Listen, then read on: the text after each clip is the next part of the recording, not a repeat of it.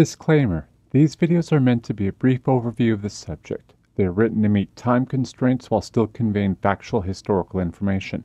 My sources for each video are in the video summary below and can get you started on a more in-depth look at the subject. Welcome to Things You Should Know, Civil War Edition. Today we're going to talk about the First Battle of Sabine Pass, Texas, located in Jefferson County on September 24th to the 25th, 1862.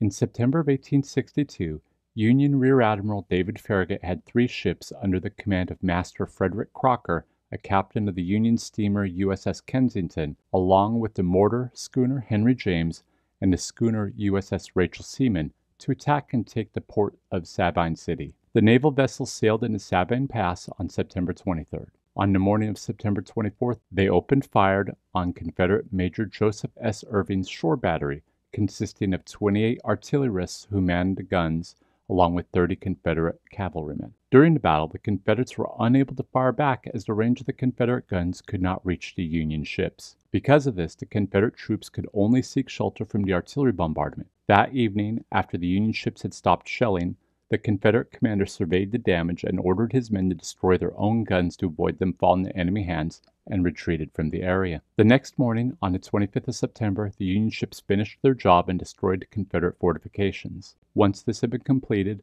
Master Frederick Crocker accepted the surrender of Sabine City and captured eight small Confederate ships along with it. No casualties have been reported for this battle for either side. Please join us again next time on Things You Should Know Civil War Edition.